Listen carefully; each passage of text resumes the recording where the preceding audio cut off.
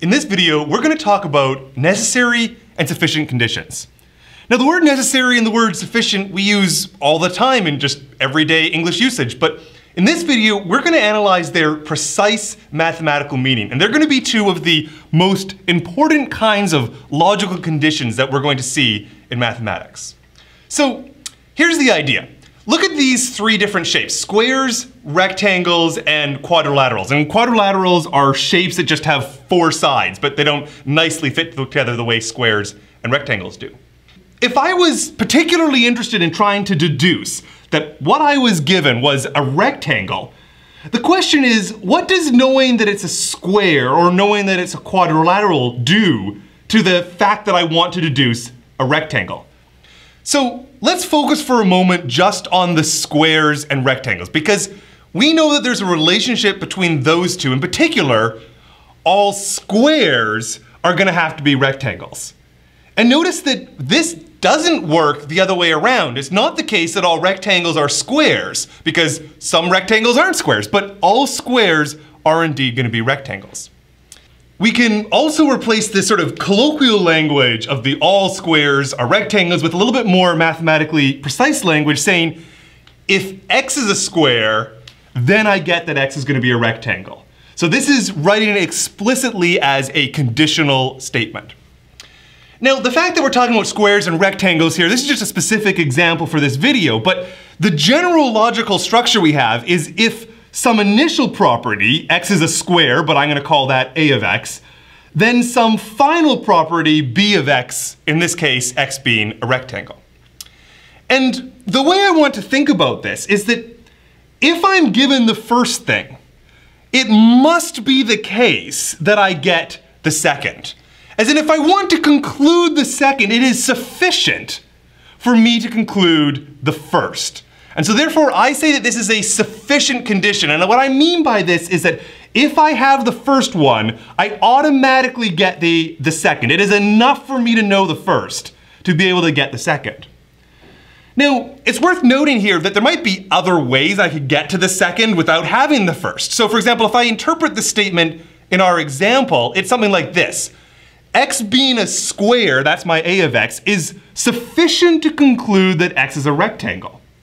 However, I don't have to have it being a square in order to get a rectangle. It could be something else, but might still be a rectangle. So that's why I refer to it as being, it is a sufficient property. But next we're gonna have to turn to the idea of what is a necessary property. That's gonna deal with the other way around. So let's go back to our picture with our square, our rectangle, and our quadrilateral. And again, we're trying to conclude the middle one. We're trying to conclude the rectangle, but here I want to focus just on the rectangle and the quadrilateral.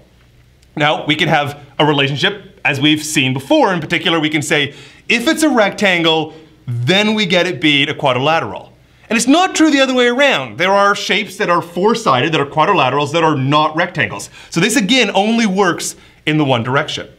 The general form being expressed here can be written as if b of x, remember from before, b of x was the symbol we used for our rectangle, then quadrilateral, which is a new thing, I'm gonna put it then c of x. So again, it's another conditional, another implication.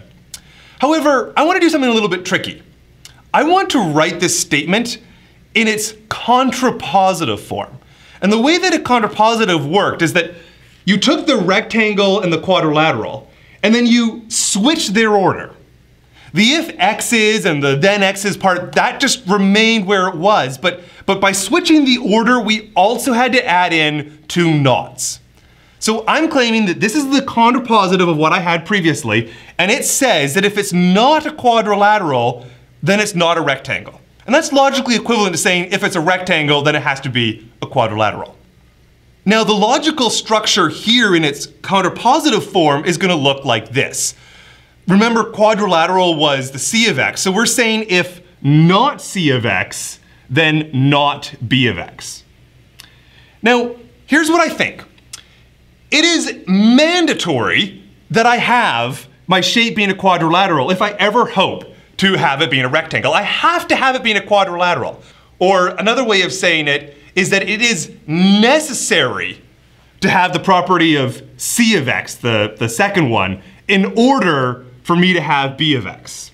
In the language of quadrilaterals and rectangles, this says it is necessary for it to be a quadrilateral in order to conclude that it's going to be a rectangle. So let's go back to our three shapes.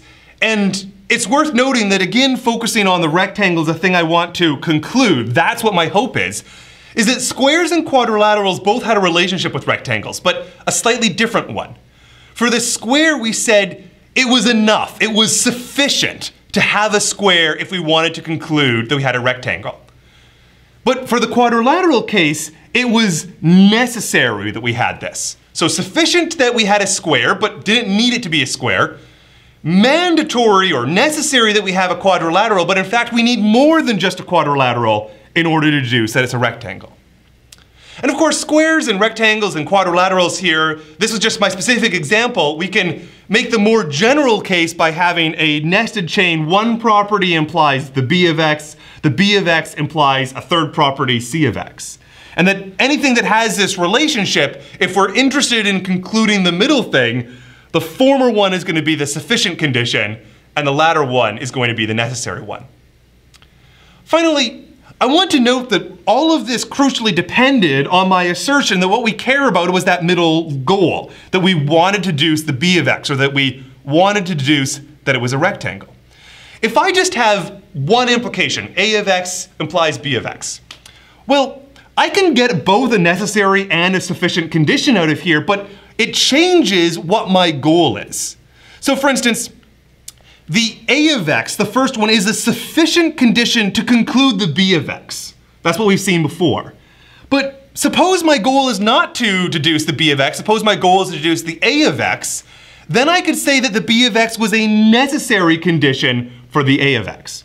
In other words, if I want to get the A of x, I have to have the B of x, that's necessary. And if I want to get the B of x, it's just sufficient for me to have the A of x. In a specific example with our squares and rectangles again, the first we've seen already, a square is a sufficient condition to be a rectangle. But let me suppose that now I want to deduce that it's a square. In that case, what does a rectangle mean? Well, having a rectangle is a necessary condition for being a square.